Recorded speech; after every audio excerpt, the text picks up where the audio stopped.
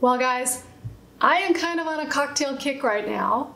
Not that there's anything wrong with that, but I am super excited to show you today my pineapple vodka cocktail. And I turned up the heat just a little bit and you're gonna love it. So if you are looking for great, easy cocktails to make, then please go ahead and subscribe. And also don't forget to hit that notification bell because I put out a new video every Friday and that way you will be sure to be notified. Welcome back to the Spicy Apron Cooking Show. I am here to show you the easiest way to get the best possible results in your kitchen. I've been doing it for 25 years, I've got two cookbooks out, and I have the spicyapron.com food blog. And today, I'm gonna show you this cocktail that I came across on a carnival cruise, and it is a kicked up pineapple vodka cocktail. It is super easy to make and it's got a lot of what you think it should have in it, but it even has a little bit extra. I learned this when I was chatting it up with the mixologist on my last Carnival cruise. So let's start with the obvious, pineapple. Now, I've got my cocktail shaker and it is two thirds full of ice. So you want about four ounces of pineapple juice. And now is where we get to the good stuff.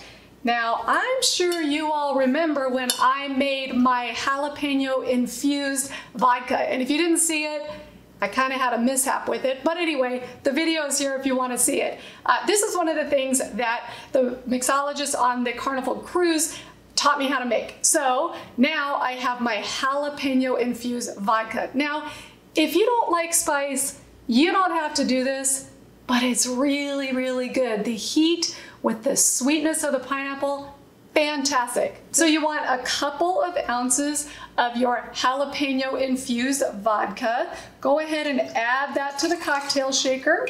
And here's where it gets even more interesting. This is chipotle pineapple syrup. So it's got that really smoky, smoky flavor of chipotle and the sweetness of a syrup and the tartness of pineapple. So you want a couple of ounces of that. Okay, now the mixologist on the cruise ship also adds one ounce of simple syrup. I do not like my cocktails very sweet, so I omit that. But if you like sweeter cocktails, then please go ahead and add one ounce of simple syrup. Now you put your lid on top of your shaker and shake it for a full 30 seconds, if not more. You want those ice crystals to form in that drink and make it nice and cold and refreshing. I am curious, do you prefer spicy cocktails or sweet cocktails? Put the answer in the comments below, spicy or sweet.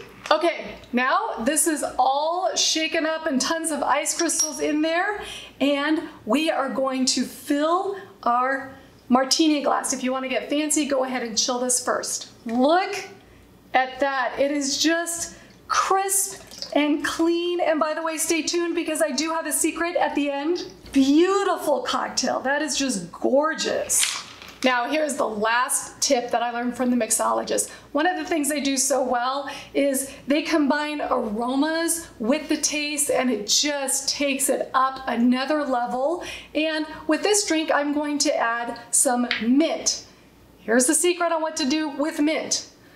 You put it in the palm of your hand and you clap. And it, oh, it, God, I wish you guys could smell that. It just really releases this pop of mint. And mint and pineapple, whoo, they go really, really well together.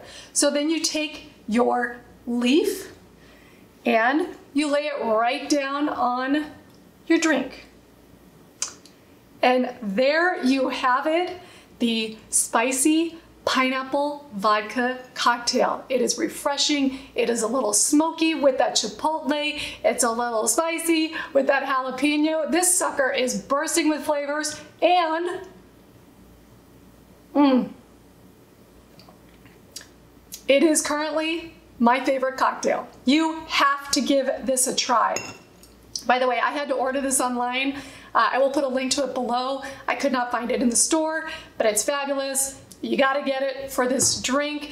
And if this video helped you learn one more new, cool, and easy cocktail to make, then please give it a thumbs up and subscribe if you want more. Thank you for tuning in to the Spicy Apron Cooking Show.